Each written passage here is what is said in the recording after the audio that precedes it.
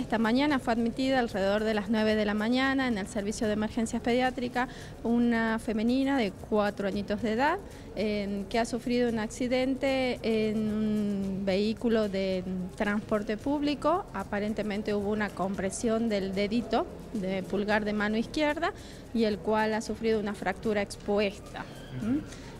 Aparentemente estaría dirigiéndose, en este caso la menor, con alguna persona mayor, estaba yendo al jardín, al prejardín.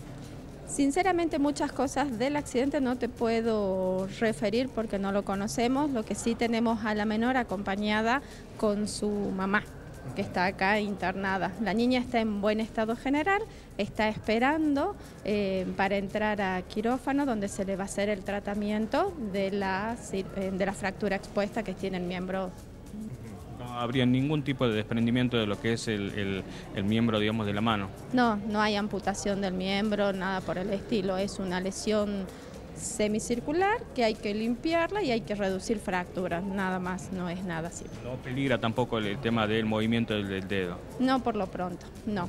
Así que la niña ahora está aguardando su turno para entrar a quirófano. Ya se le hizo la valoración cardiológica, está todo bien, se le hicieron los laboratorios prequirúrgicos y en cuanto la llamen de quirófano pasaría para hacer su tratamiento.